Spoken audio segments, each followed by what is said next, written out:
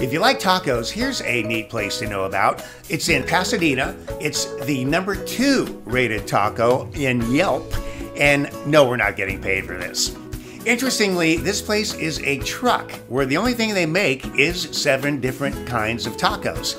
As part of Pat Martin's team, I came over to check it out and learned that Los California Tacos on Fair Oaks has been run by the same family since 1979. They told me they seek out the leanest meats and that their sauces and marinades are all handed down old family recipes, right down to grandma's recipe for the rice water. It appears the only thing the family doesn't do here is strap on guitars, go outside, and. I had three tacos carnitas, carne asada, and al pastor, and I must say, pretty good.